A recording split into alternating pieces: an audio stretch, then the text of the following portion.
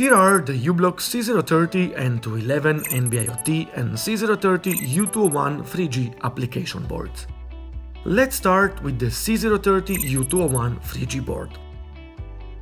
This box includes everything that's needed for rapid out-of-the-box IoT prototyping, from a complete hardware set to connectivity options. The SARA U201 is a global 3G module with quad-band GSM and 5-band UMTS coverage. The MAX M8C GNSS module provides concurrent reception of up to three of the major global GNSS satellites. And the board also includes an ARM Mbed-enabled Cortex M4 host CPU for your own applications.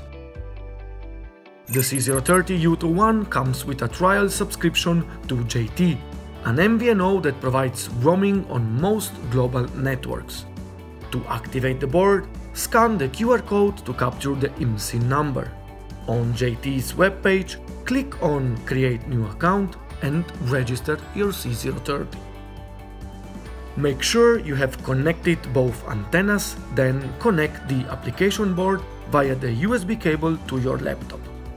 The C030 page on ARM's website contains downloadable file libraries with use case examples to get you started.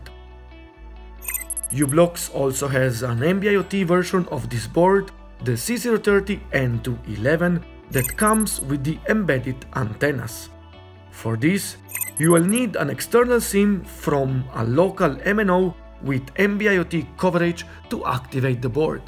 File libraries are available for download on ARM's website.